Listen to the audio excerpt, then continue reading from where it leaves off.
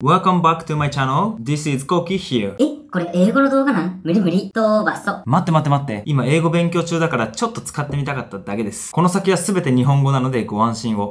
ということで、改めまして、皆さんこんにちは、細マッチョコウキです。今回の動画では、半年で確実に筋肉をつける5原則について、自分自身の経験と、パーソナルトレーナーとして、いろんなお客さんを見てきた経験から、大事なことを話していこうと思います。今、筋肉をつけたいと思っている人、頑張ってるけど全然効果が出なくて挫折しそうな人は、この動画を最後まで見ることで、理想の体になるスピードが爆発的に上がるから、最後まで見るようにしてね。じゃあ早速、一つ目が、ジムへ入会する。まず、筋肉をつけようと思った時に、ジムへ入会しようか、自宅トレーニングにしようか、この2択で大体迷うことになると思います。僕は圧倒的にジムへ行くことをお勧めします。なぜかというと、結局筋肉をつけていく過程で、絶対に重りっていうのが必要になるんですよね。自宅に器具を揃えるのもありっちゃありだけど、僕の経験上、自宅でやろうとした人は9割挫折していきます。で、挫折をしない人は今この動画絶対見てません。なぜなら一人で頑張れるから。せっかく高いお金を払って自宅に器具を揃えても、やらなくなったら超もったいないじゃないですか。だから、最初はジムムへ入会することを強くお勧めします。それと、ジムは頑張ってる人しかいません。周りのみんなが頑張ってる中、自分だけサボろうとはならないじゃないですか。それに、やり方がわからなくても、とりあえず周りの人がやってることを真似したらいいんですよ。その中で、この筋トレはいいなーとか、これめっちゃ効くなーっていう種目が絶対にあるはずなので、そういう知識を増やしていくっていう面でも、ジムへ入会するっていうのはマストです。二つ目、フリーウェイト中心にトレーニングをする。フリーウェイトっていうのは、ベンチプレスとかスクワット、ディップスみたいなマシシンを使わないトレーニングのことです。ジムに行くと、たくさんのマシンが並んでて、多くの方がそこで筋トレをしています。でも、ダンベルとかバーベル、パワーラックがあるエリアには、大体ガチムチマッチョがいるんですよ。なぜなら、そっちの方が圧倒的に効率がいいから。フリーウェイトは、筋トレ初心者にとって、フォームとか回数、重量の設定がめちゃくちゃ難しいです。だから敬遠しがちになっちゃうんだけど、ちょっと練習すれば意外とすぐできるようになります。ただ、ジムのフリーウェイトエリアにはゴリマッチョが集まっているので、初心者にはちょっとハードルが高いかもしれません。でも安心して、フリーウェイトエリアには筋トレ初心者が入っても、ゴリマッチョは何とも思わないどころか、優しく教えてくれることもあります。そうしたらめっちゃラッキーじゃないですか。マッチョとちょっとしたコミュニケーションをとって、僕こんな風になりたいですって言ってみたら、あんなことやればいいよ、こんなことやればいいよって教えてくれるかもしれません。っていうのも一つの理由だし、フリーウェイトは1回の動作の中でたくさんの筋肉を使います。逆にマシンの筋トレっていうのは、大体1つの筋肉しか使いません。いっぺんにたくさんの筋肉を鍛えた方が絶対に効率がいいので、フリーウェイト中心のトレーニングをできるようにするっていうのが筋肉をつける上で最短の近道です。最初から完璧にできる人なんていないんだから、最初は練習だと思ってフリーウェイトのトレーニングを頑張るようにしましょう。3つ目、毎日やる。何当たり前なこと言ってんだって思うかもしれないんですけど、この毎日やるっていうのはめちゃくちゃ大事なことです。筋トレ初心者って始めた最初の1年がボーナスタイムって言われてて、これからの筋トレ人生の中で一番筋肉がつきやすいのがこの最初の1年なんですよ。ここを無駄にするのは本当にもったいないから、今まで続けてこなかったものを突然継続するのはマジで大変なことだけど、この大事な期間を絶対に逃してほしくないなと思ってます。今、いろんな YouTube チャンネルを見ると、筋トレのやりすぎは良くないとか、オーバーワークだ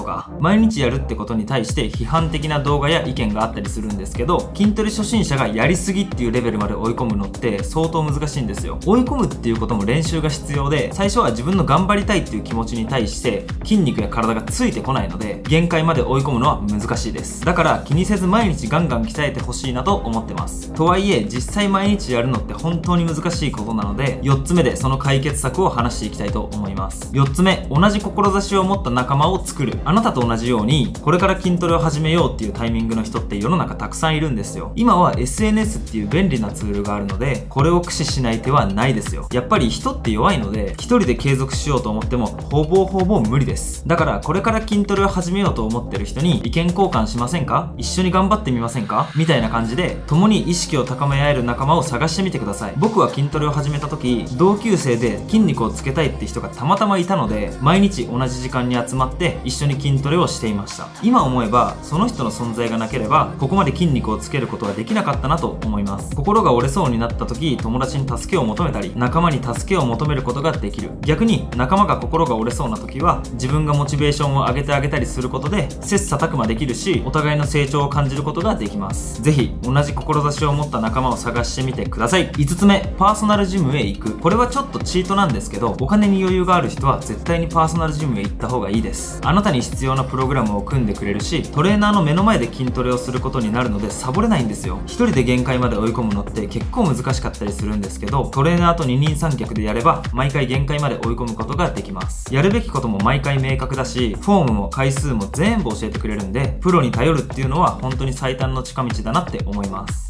ということで、今回の動画は半年で理想の筋肉をつける5原則について話してみました。結局のところ、体を変えるのに近道なんてなくて、やるべきことをしっかり逃げずにやれば必ず筋肉はついていきます。食事もサプリも大事だけど、優先順位が違います。まずは筋トレを継続すること、そこに全集中してください。もしこの動画をここまで見て、継続はできてるんだけど、食事とかサプリのことをもっと知りたい。食事とかサプリのことを知りたい。筋トレのフォームとかメニューの組み方をより深く知りたいっていう人がいたら、概要欄にある僕の公式式 LINE を登録してもらうことで、あなたのためになるプレゼントをしているので、ぜひ受け取ってみてください。ということで、今回の動画は以上です。See you later! また英語かぶれしてしまいました。すいません。